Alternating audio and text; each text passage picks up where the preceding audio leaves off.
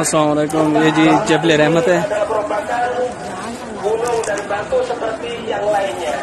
Tidak mempunyai keutamaan dan keistimewaan sebagaimana Rasulullah SAW. ये आवाम का रश आप देख सकते हैं जी semuanya माशाल्लाह datang kemari.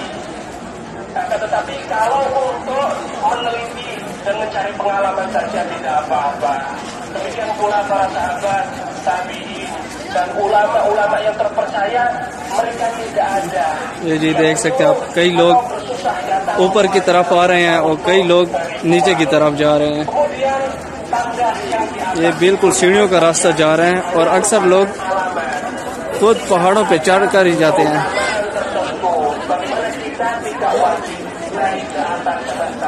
jadi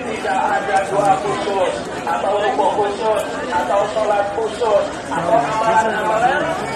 ibadah-ibadah yang lainnya yang harus kita kerjakan di tempat ini kita harus benar-benar mengikuti sunnah Rasulullah Shallallahu Alaihi Wasallam di dalam melaksanakan ibadah sehingga ibadah kita ini diterima di sisi Allah Subhanahu Wa Taala माशाल्लाह अल्लाह ताला हर मुसलमान को अपने घर बुलाए boleh kita mengambil satu atau benda हर मुसलमान itu tanah ataupun benda-benda yang lainnya. Yang bisa kita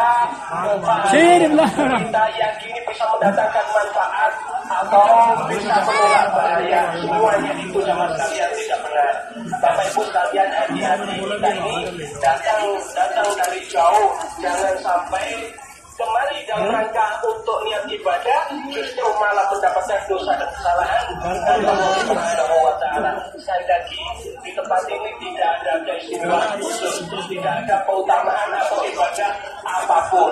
Sebaik-baik petunjuk adalah petunjuk Rasulullah SAW dan sebaik-baik amalan adalah amalan Rasulullah SAW. Semoga Allah Subhanahu wa taala menganugerahkan kepada kita cinta kepada Nabi Muhammad SAW